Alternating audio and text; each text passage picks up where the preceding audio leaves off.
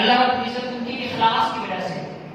अब जैसे वालिद इब्राहिम रहमतुल्लाह ज़िंदगी भर उन्होंने बड़े खलूस के साथ, बड़े खलूस के साथ काम किया। और जो उन्होंने तफसीर आसन बयान की थी, अल्लाह रब्बुल इज़्ज़त को न जाने कितने खलूस के साथ उन्होंने ये लिखी होगी। और अल्लाह रब्बुल इज़्ज़त उनसे राज़ी था। सबसे बड़ी अल्लाह की रजा की दलील यही है कि जब उन्होंने तफसीर लिखी तो अल्लाह रब्बुल इज़्ज़त ने उस तफसीर को कबूल आम बात पूरी दुनिया में इसकी शोहरत हुई ये वालदे इकराम के इखलास की बरकत थी अल्लाह रब्बुल इज़्ज़त ने उनके कुर्बानी को कबूल फरमाया। उनके इखलास की कदर की कि उनके काम को दुनिया भर में फैला दिया आज इस्लाम के जितने भी पहलू हैं, जितने भी मौजूद हैं, हर एक मौजू पर वाल की किताब है। हर एक मौजू पर उन्होंने कलम उठाया। और जो आप उनकी पहचान है, जो इस मस्जिद की जो पहचान थी, वो हज़रत साहब यूसुफ रहमतुल्लाह थे और वालिद साहब इस मस्जिद में जब आए, जून 1966 में वो इस मरकज में यहाँ पर आए थे। और यहाँ पर आकर उन्होंने इमामत शुरू की साथ में उन्होंने दस दस से कुरान और तफसीर की क्लास पढ़ाना शुरू की। और 1988 से बकायदा उन्होंने इस मस्जिद के अंदर खुतबा जुमा देना शुरू किया।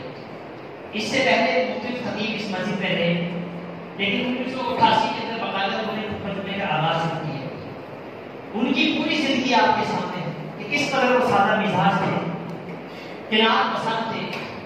हर मुश्किल और आजमाइश का बड़ी खतरा पेशानी से मुकाबला किया करते थे। जिन्होंने दूर रहकर उनको पढ़ा, उनका उनकी किताबों का मुताला किया। जब वो घर आते या जब भी किसी मकाम पर जब वो वाले साहब देखते तो बड़े हैरान होते, यकीन नहीं करते थे कि इतना बड़ा मुसन्निफ इतना इसका नाम है और इतने सादे मिजाज है बड़े ताजुब से पूछा कि ये आप हाफिज यूसुफ हैं। इतना ताजुब करते थे इतने बड़े आलिम और इतनी सादा ज़िंदगी और इतने तनाव पसंद आम इंसान की तरह ज़िंदगी पसंद करते थे इतनी बुलंदियों का फायद होने के बावजूद उनके ज़रूर तकवा के अंदर कभी कभी वाक़ नहीं हुई आरसी इनकी सारी का दामन उन्होंने कभी नहीं छोड़ा।